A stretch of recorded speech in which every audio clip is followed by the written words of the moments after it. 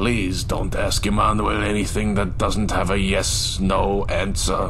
What do you want to know? I'm afraid we cannot discuss such things. Hans, do you think anyone cares? Our mission succeeded. Nothing matters. My friend, it's very simple. This submarine is. Otto, our purpose cannot be communicated to the enemy under any circumstances. This is really stupid. Maybe take a tour of the submarine if you want an answer to this question.